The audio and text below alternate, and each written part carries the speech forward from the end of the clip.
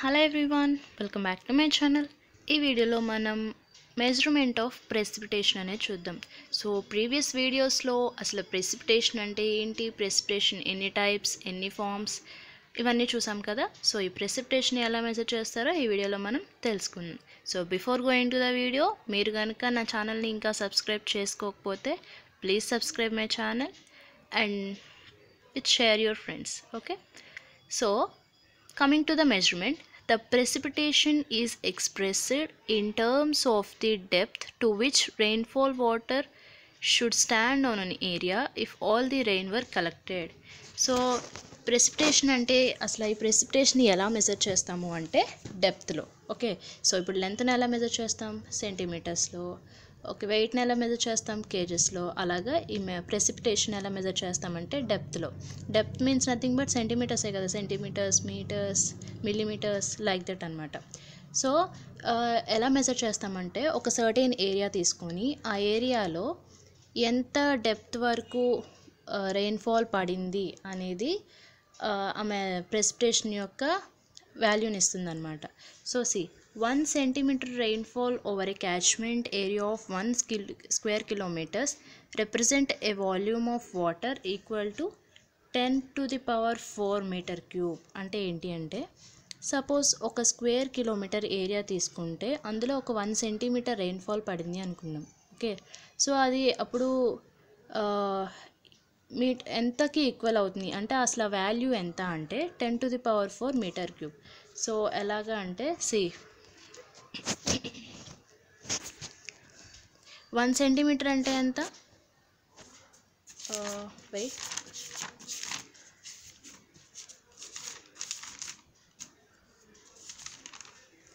Yes one సెంటీమీటర్ని మీటర్లోకి మార్చామనుకోండి ఎంత?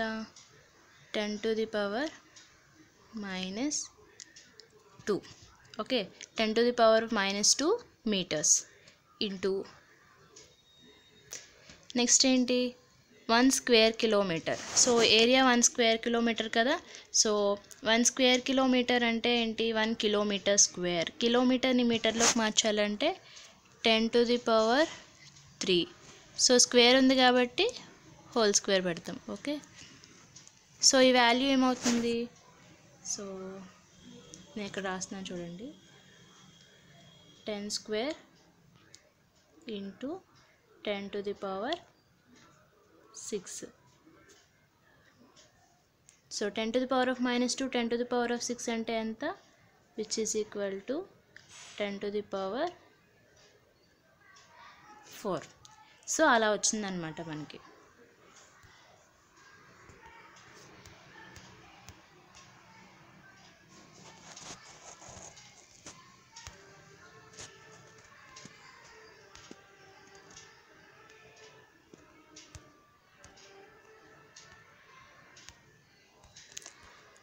సో మనం ప్రెసిపిటేషన్ని అలా మెజర్ చేస్తాం. Coming to next point rainfall measuring ఎలా చేయడానికి ఏమేమి డివైజెస్ యూజ్ చేస్తాము అంటే సో క్యాజువల్గా మనం ఓపెన్ ఏరియాలో రెయిన్ఫాల్ని మెజర్ చేయడం కుదురుతుందా?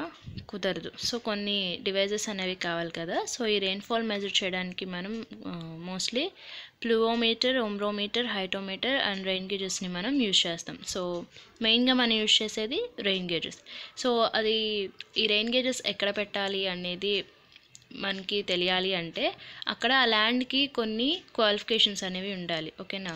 సో అవేంటి అంటే గ్రౌండ్ వచ్చేసి లెవెల్గా ఉండాలి ఓపెన్గా ఉండాలి హార్జొంటల్ సర్ఫేస్ ఉండాలి. అంటే లెవెల్గా ఉండాలి మీన్స్ అక్కడ అండ్యులేషన్స్ ఏమి ఉండకూడదు. అంటే ఎత్తు పల్లాలు లేకుండా ఉండాలి హారిజాంటల్ సర్ఫేస్ అయి ఉండాలి అలాగే ఓపెన్ సర్ఫేస్ అయి ఉండాలి. ఓపెన్ అయితేనే కదా వర్షం అనేది అక్కడ పడుతుంది.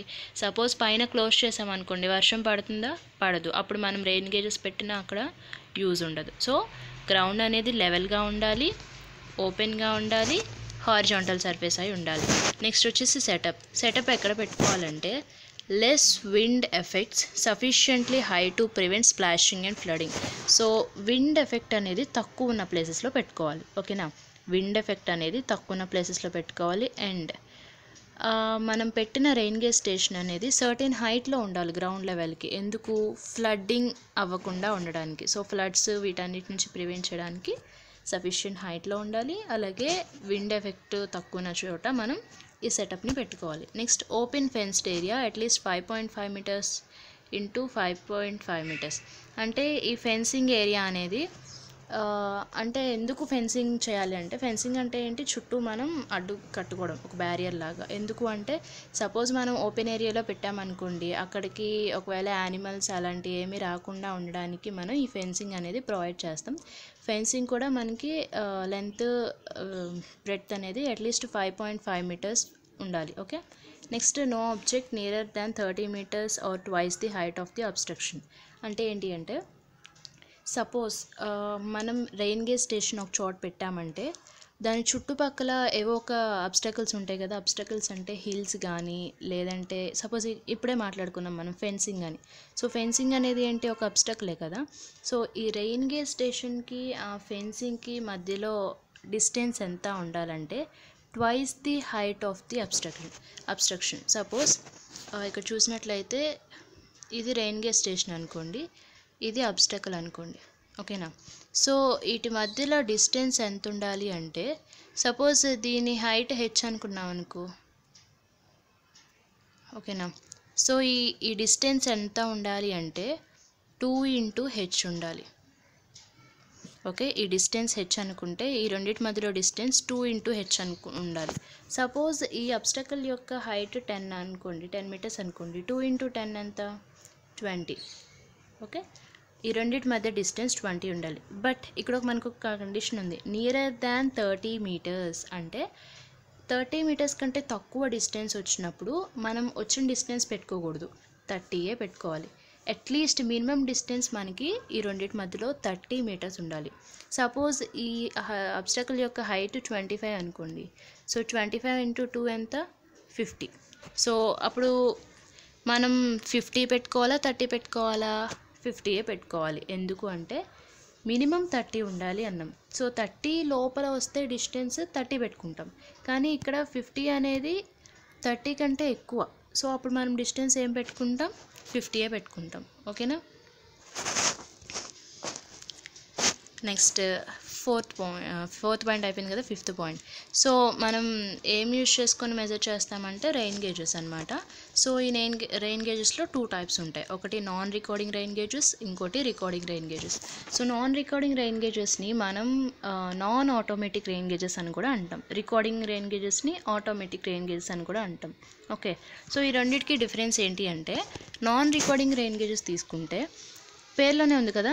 Non recording or non automatic అంటే వర్షం ఎంత పడింది ఏంటి అనేది అక్కడ రికార్డ్ అనేది అవ్వదు. అంటే ఒక బాటిల్లో కలెక్ట్ చేసుకుంటాం వాటర్ తర్వాత మనమే వెళ్ళి ఆ వాటర్ని తీసుకొని మెజర్ చేసుకోవాలి. ఓకే అది non recording or non automatic rain gauge coming to recording అనుకో రికార్డింగ్ అంటే ఏంటి? ఆల్రెడీ ఆటోమేటిక్ రెయిన్ గేజ్ అన్నా రికార్డింగ్ రెయిన్ గేజ్ అన్నా ఏంటి? ఆల్రెడీ వాల్యూ అనేది నోట్ అయిపోతుంది. అంటే ఈ రికార్డింగ్ రెయిన్ గేజెస్లో గ్రాఫ్ పేపర్ అనేది ఒకటి మనం ప్రొవైడ్ చేస్తాం. సో దానివల్ల ఏంటి అంటే వర్షం ఎంత పడింది ఒక ప్రెసిపిటేషన్ ఎంత పడింది అనేది ఆటోమేటిక్గా అక్కడ రికార్డ్ అయిపోతుంది. మనం అప్పుడే వెళ్ళి తీసుకొని చూడాలంటే అవసరం లేదు.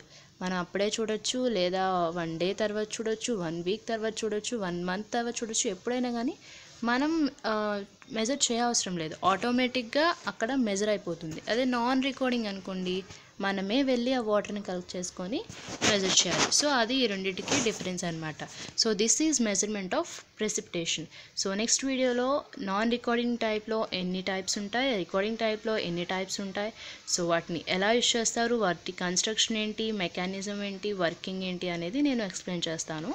So please watch my next video thanks for watching please subscribe my channel